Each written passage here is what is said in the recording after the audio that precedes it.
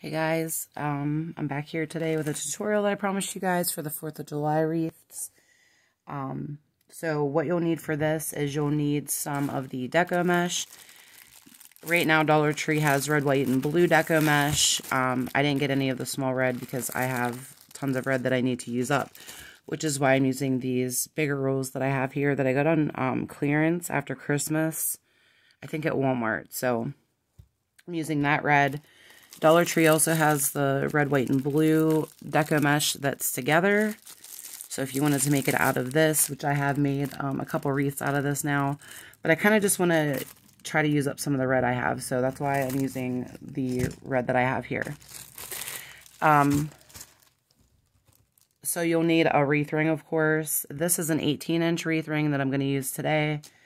Also found at Dollar Tree. Um, the pipe cleaners here they're the weight pipe cleaners. I believe I got them at Dollar Tree. I folded them in half and then cut them so they're shorter. You can leave them whole if you want to. I went ahead and did this ahead of time because I showed you how to do this on my other Deco Mesh uh, wreath tutorial. So I'll link that in the description below if you guys missed that one and want to know exactly, you know, what I did with the pipe cleaners here. Um, you'll want any embellishments that you want to use. I know I'm definitely going to be using this cute little gnome that I found as my centerpiece. And then I also picked up these, it's felt garland and they're stars. So I think I may cut a few of these off to help decorate um, this wreath. So, so we'll just set that stuff aside for right now.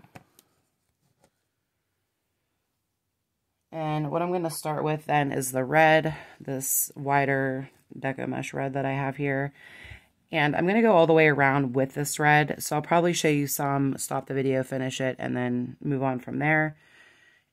I think that I'm just going to do my curls with probably these three.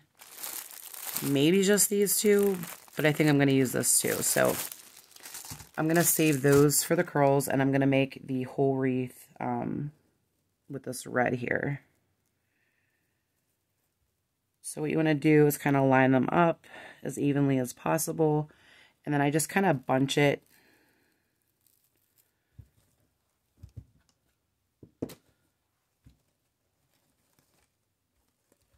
You just kind of bunch it like this. And then you can start wherever you want to. You can start, um, I, I don't know how it would be to start on the inside edge. I've never done that. I always start on the outside edge, so I'm going to go ahead and put this here. And we'll secure this down with the pipe cleaners. I'm just going to twist it a couple times. And I do pull it down to kind of keep it as tight as possible because I want this to stay in place. It is going to move um, probably no matter how tight you make it. But once you're done, you can hot glue the back to, you know, permanently secure it in place.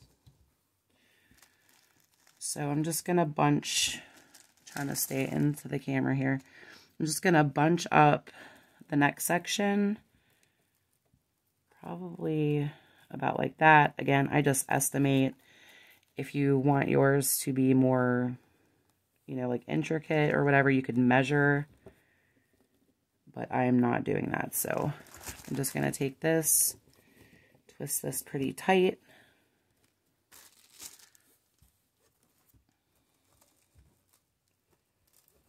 I'm hoping I have enough of this red. I do have more, but I just like to, I don't like to run out because then you got to kind of cut it and then hide it. So I'm going to bunch this up here.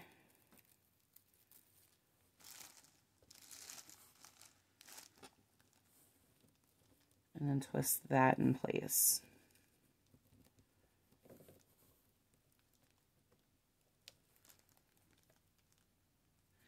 And it is going to look kind of sparse at first. Um, I would definitely use two rolls of Deco Mesh for this. You could use more if you want to. But once you fill in with the curls, it really fills, you know, the whole wreath out. So don't get too nervous when, you know, it looks like your wreath's really bare.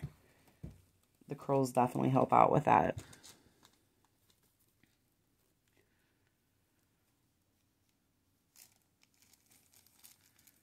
And I'm just going to make another little bunch here.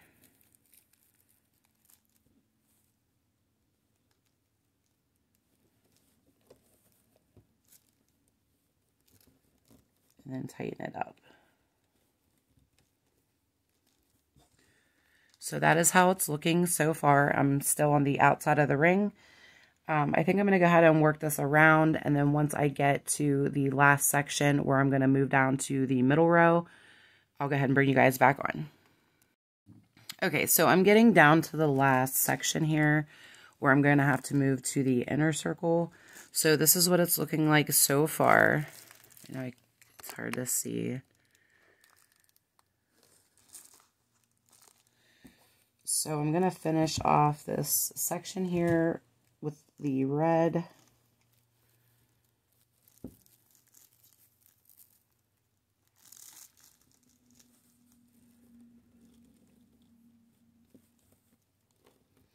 And then once you finish off the outer edge, if you want to cut it off and start the inner ring um, with the deco mesh, you could do that. Or you can just leave it together and just continue on with the inner circle. I literally have no room here. Okay, so I'm just going to bunch this together. This is the last section of the outer circle. And then what I'm going to do to kind of hide this little messy bit here from the very start is I'm going to bunch up a little bit and I'm going to secure it to that pipe cleaner to kind of hide it.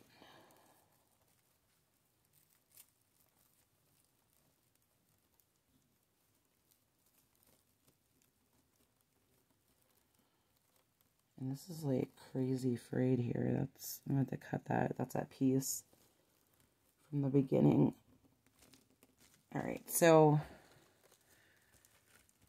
that is the whole outer edge um, done. So then what I'm going to do is I'm going to start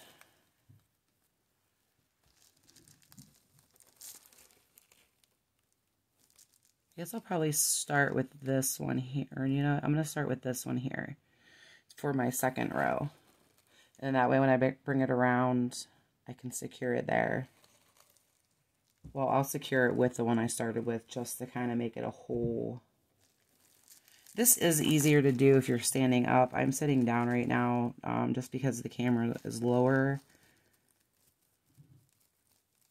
But it's definitely more um, easier to do when you're standing up. And this table's pretty low as well. My like little literally kills my back.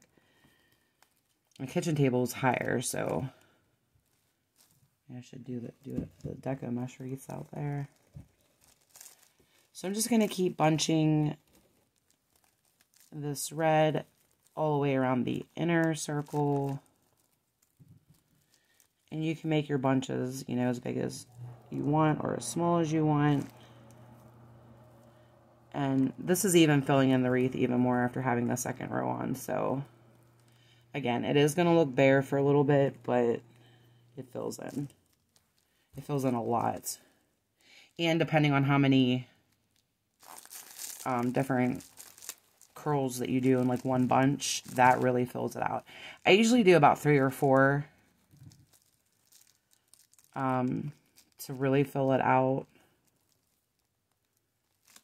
Now, if you're putting like small embellishments, you might not want to do as many just so you, you know, the embellishments stick out better.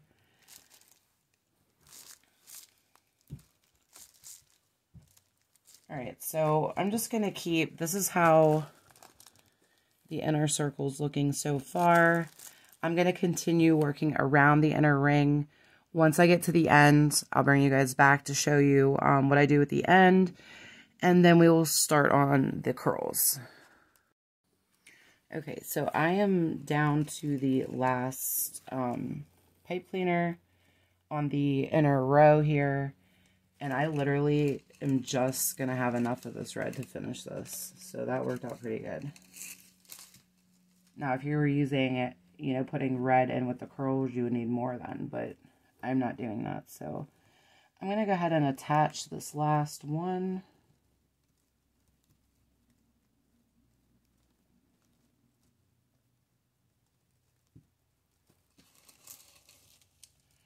And then I'm going to make one more little bunch.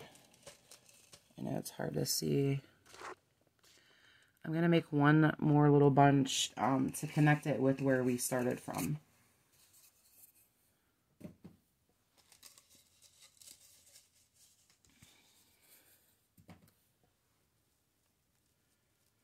And I'm just going to make a smaller one just to connect it.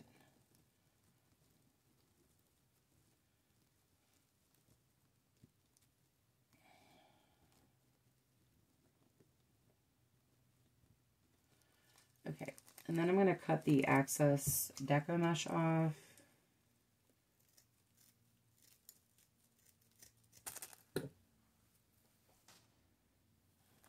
And that is how our wreath is looking so far. Again, it is looking, you know, kind of bare at the moment. But once you get your deco mesh curls in there, it really fills it out. Whoops. And then once you um, glue it in place when you're done, that helps it to kind of stay even and secure all around. So I definitely, I mean, if you definitely plan on keeping it or giving it to somebody, I would definitely suggest hot gluing the back so everything stays in place. And you can puff these out now or later, it doesn't matter. Or after you glue them even.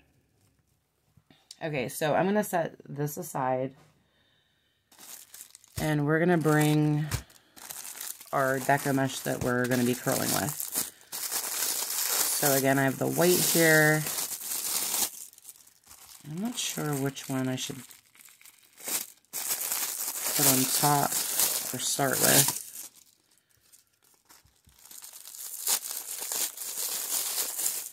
I think I'm gonna I think I'm gonna put this one like, I'm going to put this one on the bottom. And I'll show you what I mean here in a second. So I just kind of estimate about how long I think I'm going to want it to be.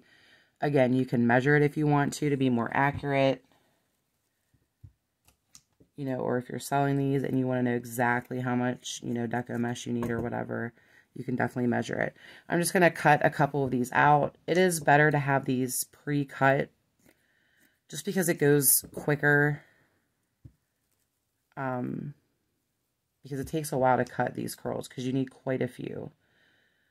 So I'm just going to cut a couple up here and then I'm going to show you how to attach the curls onto the wreath and then I'll probably you know, get some done off camera so that way you're just not watching the same thing for 20 minutes straight. So I cut I cut four of the red, white, and blue, so I'm going to cut four of the blue and then four of the whites.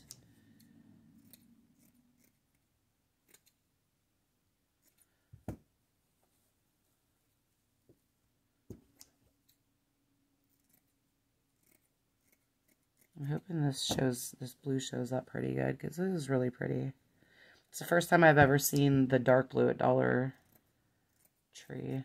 I've seen the light blue, but... Okay, and the white.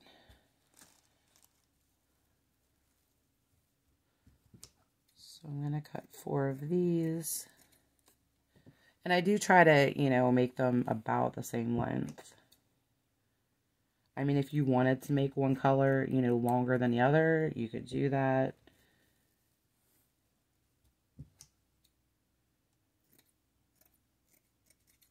But you definitely don't want them too short. You definitely want them to curl so it gives it, you know, a cute, a cute look to it.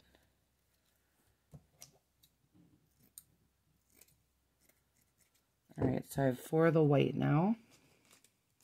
Okay, so Deco Mesh sticks to everything. So I'm going to move these out of the way for right this second. Um, just one second. Okay, so I made a little bit, a little bit of room here. Okay, so what I'm going to do is I'm going to take one of these red, white, and blue ones. and just kind of roll it into a curl. And I think I'm going to put this one on the bottom of it. And then probably, I don't know if I should do the white or the blue next. Let's probably do the white. I mean, you can always, always alternate, you know, do it this way, do it reversed for the next curls. It's whatever you want to do. So if I had red here, then I would make a curl with red, but I don't really want any extra red since my wreath is completely red at this point. So let's see how that's going to look. I don't know because you can't really see the red, white, and blue.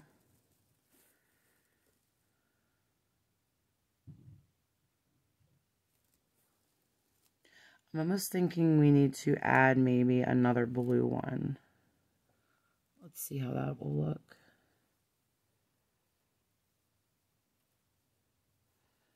Maybe have it like the red, white, and blue with blue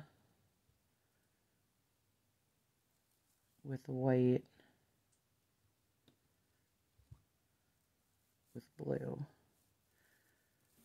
you know what, I think I'm going to do this, but I think I'm going to alternate, like have two blue on this one with one white, and then on the next one do two white and one blue. I think I'm going to do it that way. So you can start wherever you want to, but as you can see, I kind of bunched the curls up here. I'm going to take the pipe cleaner and kind of pinch the curls in between it, and then we're going to twist it just like we did with the red.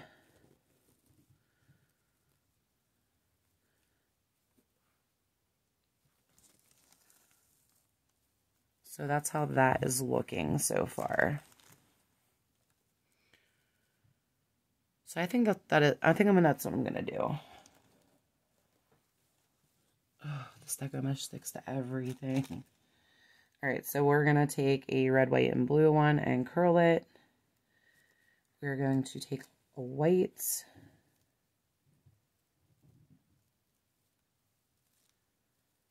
Oh, it just sticks to everything. Here, let me move this out of the way for a second. Okay, so red, white, and blue, white. Then we'll do a blue.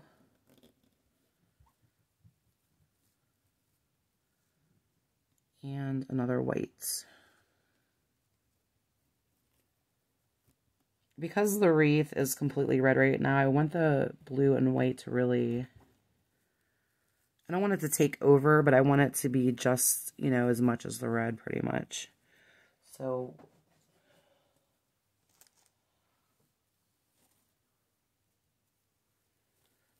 And then we'll go to the very next one, next to the one that we already did. And this, the ones I'm working on right now are on the inner row, the inner circle. Because I'm not sure if I'm gonna, I, I don't know if I'm gonna do the whole outer ring in I'm not sure yet.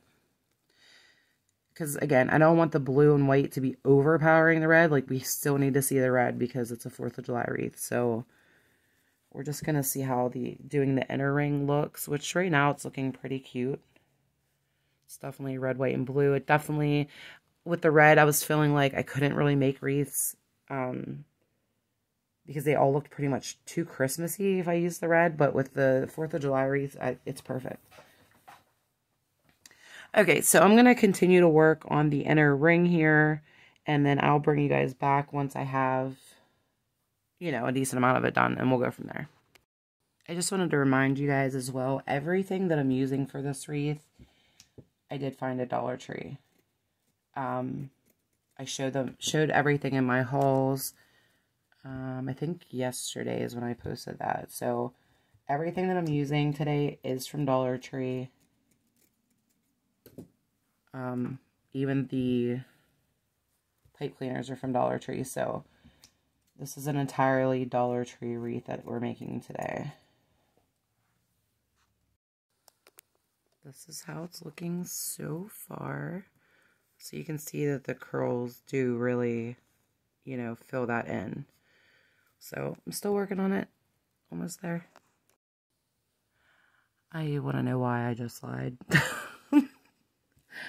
um, everything was from Dollar Tree except the red, which I had said at the beginning. It's from Walmart. I don't know what. I just went off on a tangent. so everything's from Dollar Tree except the red. The uh, red deco mesh. So I'm wondering if these stars are going to look good or if it's going to be too much. Because the gnomes pretty much take up the entire center of the wreath form. So I don't know if the stars are going to be too much or not. We're, we're going to try it and see. I'm not going to like glue anything on or make anything permanent just yet. But the gnome's definitely going in the center. I'm just not sure about the stars.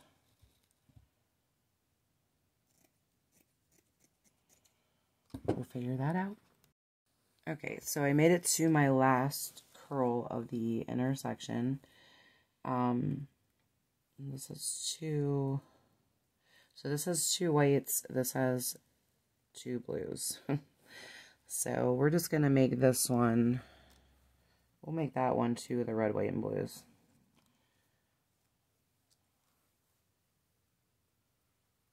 So the this blue is really pretty, by the way. This dark blue from Dollar Tree. It's super pretty. I would like to do just an entire wreath with that blue. I don't know what else I'd put on it, but it's really pretty. Okay, so this is the last set of curls for the inside. I'm still not sure if I'm going to do the outside or not. I'm going to hang it up on the door and see what it looks like. You know, how it looks right now. But it's hard to see, but that is the wreath.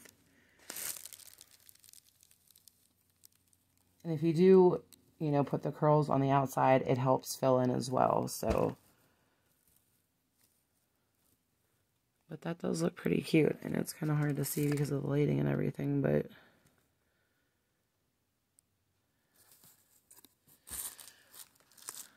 So just continuing on with the things that I'm going to do them for sure wanting on this is the gnome. There's like a little mark on there.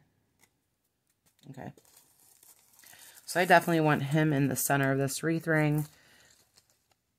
So what I'm probably going to do, let me take this tag off. I don't know if I'm going to use the string that it came with. Probably at least for now. So I'm going to flip this over and then I'm going to pick um, like one of these spots where it has part of the wreath ring going up and down. And I'm going to secure the gnome onto that section there. Probably with a, a pipe cleaner for right now.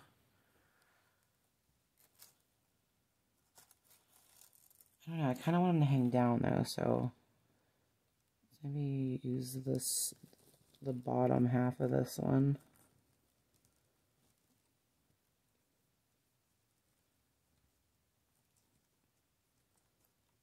Just kind of twist it.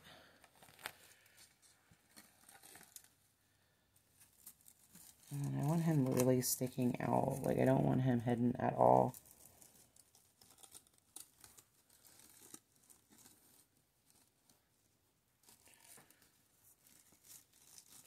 He's not really wanting to stay, so I think I'm going to have to